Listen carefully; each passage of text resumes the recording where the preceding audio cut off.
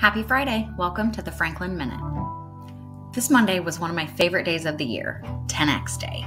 Through the partnership with Johnson Memorial Health, FCS was able to award 26 10X grants to teachers.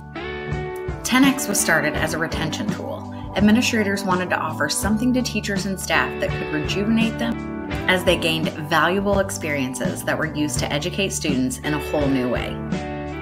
The teachers had a little extra buy in from their students. They'd been there to see the volcano erupt, to see the butterflies in their natural habitat, and to experience how solemn it is at Ground Zero.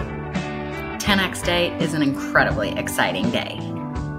This week was National School Counseling Week. Here at Franklin, we think we have the best.